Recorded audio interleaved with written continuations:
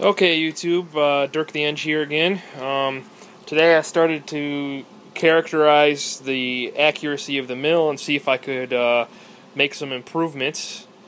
So, um, um, I thought I would explain how I was doing this. Um, the first thing I did was take the mill and measure and and make two pads that are in the same plane on the right and left hand side and uh, that way I have a flat reference. And I used a one inch uh, router bit with a 40% step over so that there would be plenty if of peaks available to sit on if there were peaks and valleys in the in in the system due to misalignment of the head. Okay?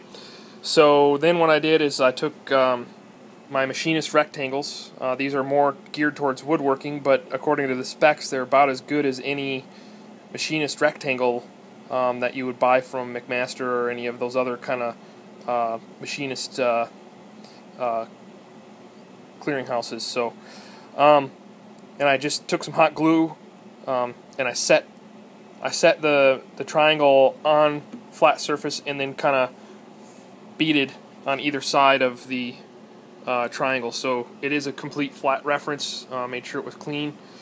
So then this surface on the rectangle represents as close to a vertical as I can uh, possibly create uh, here with you know reasonable um, cost and efficiency. So uh, then I took my dial indicator and attached it to the z-axis and indicated off of that surface and um, traveling up and down. Now of course this is the xz plane so it's measuring the accuracy of the z-axis in this direction and later I will measure the XY plane, which um, goes in this direction. So the reason I created two pads was so that I could measure the XZ on this side and the XZ on that side, just in case there's twist in the gantry. Um, I can try and help, hopefully correct for that a little bit. So uh, I created a, I just stepped the the, the z-axis down every uh, 0.1 inches and measured the um, the what the indicator was reading, and that's what you will see on the screen here. If I can get that to focus. Okay, so um, the column on the left, far left, is the Z position, then, then the dial indicator, and then uh, you see that plotted here. Um, and you can see that there that it is not a flat line, which um, indicates that there is some uh, uh, inaccuracy in the alignment. Um, it's not real bad. It's only 0.76 um, 0.76 uh, thousandths per inch of z travel, but that will contribute to the inaccuracy in the x-axis direction. So um, uh, the other thing to note is that if you take the line and then uh, plot it in this column, and then subtract the indicator to, from that to the to this, you get the random error associated with the linearity.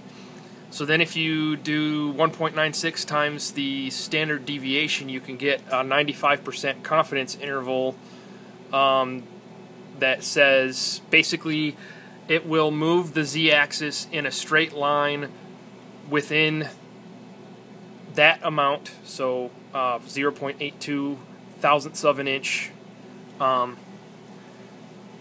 with a 95% confidence. So 95% of the time, it will be inside of that um, uh, value.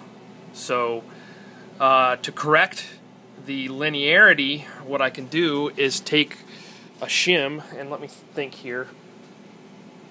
This, when it goes, z-axis goes down, the dial indicator is going up, so that means that it's tilted this way, and I can shim down in this corner, uh, according to that to that linear expression, and that should take out the uh, the linear portion of that uh, error. The random error will never go away that is probably due to, um, you know, inaccuracies in the bearing, dust, whatever's on there, the inaccuracy of this surface.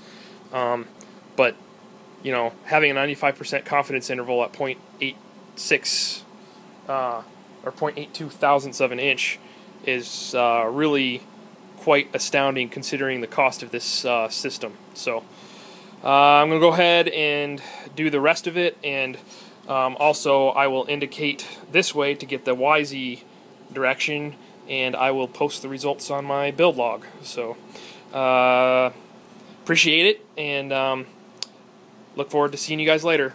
Don't forget to uh, like, rate, and subscribe.